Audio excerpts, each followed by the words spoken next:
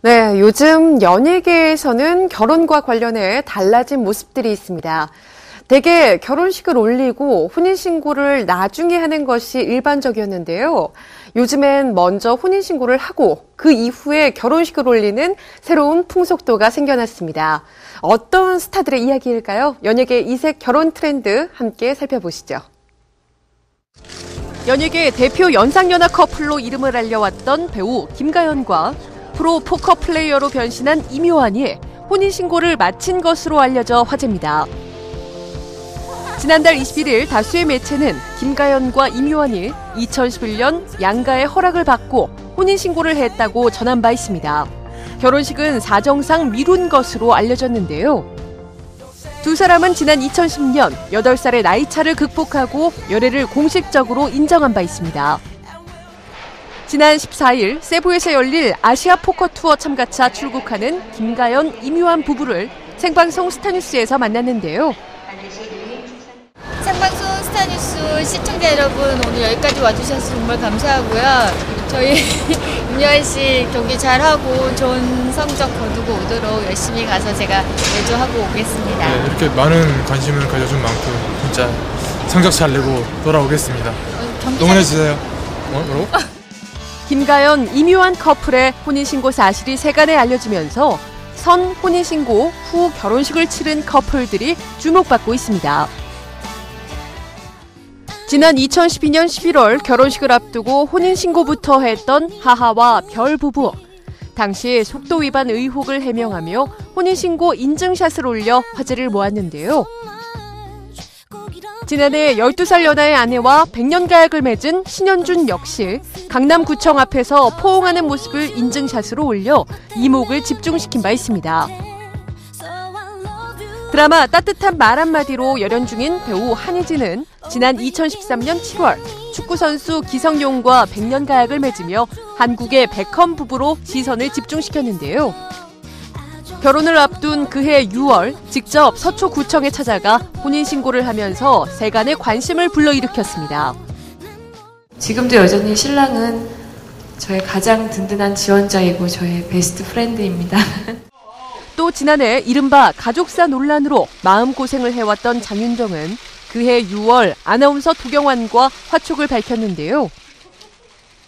축하해 주셔서 진심으로 감사드리고 그보다 앞선 5월에 이미 혼인신고를 마쳐 법적 부부가 됐습니다.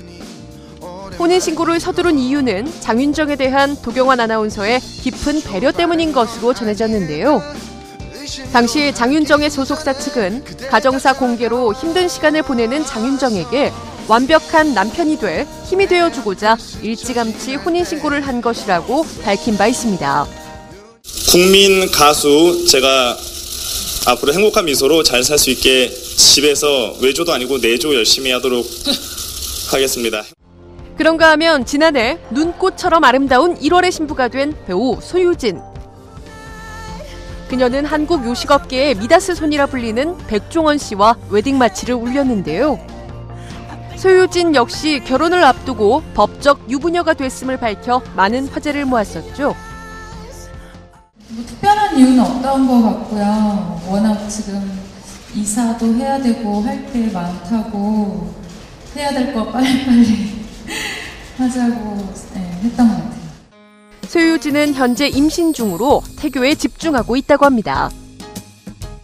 정말 예쁘게 음, 행복하게 잘 살겠습니다. 지켜봐 주세요. 고맙습니다.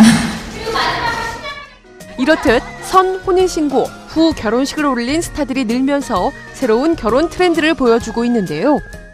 최근 임요한 김가연 커플이 혼인신고를 이미 올린 사실을 공개해서 화제를 모았는데요. 연예인들이라고 해서 모든 것을 일거수일투족을 다 알리고 싶어하는 건 아니거든요. 그래서 이렇게 혼인신고만 올리고 제외적으로 노출이 되는 결혼식은 뒤로 미루는 경우가 적지 않은 거죠. 지난해 9월 인기리에 종영한 드라마 금나와라 뚝딱에 출연한 배우 이태성은 드라마 제작 발표회 당시 깜짝 결혼을 발표해 팬들을 놀라게 했는데요. 이태성은 지난 2012년 11월 7살 연상의 아내와 혼인신고를 마쳤으며 두 사람 사이에 아들까지 있음을 알려와 화제를 모았습니다. 그리고 유능한 아내를 옆에 두고 또 변화가 있을 것 같은 기대가 됩니다.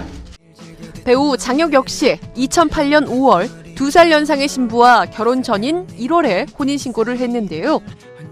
그해 2월에는 아이를 먼저 낳은 사실이 알려져 이목을 집중시켰습니다. 당시 결혼식에 초대된 하객들도 출산을 먼저 축하했는데요. 저보다 늦게 결혼해서 저보다 애를 빨리 가져가지고 정말 질투가 좀 나지만 아무튼 자식이 좀 세구나 이런 생각 들었어요.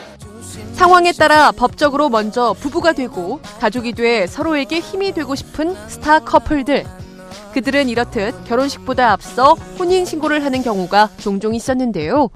뭐 스타들 중에는 그 일정 맞추기가 힘들어서 차일피일 이 결혼이 연기되는 경우가 많이 있어요. 서로 이제 책임감도 가지게 되고 또 당당하게 이 신혼생활도 즐길 수 있기 때문에 뭐 일석이조의 이 효과가 있다고 할 수 있겠습니다. 순서는 달라도 예쁜 사랑을 이어가는 스타 커플들. 누구보다 행복한 가정 꾸리길 응원하겠습니다.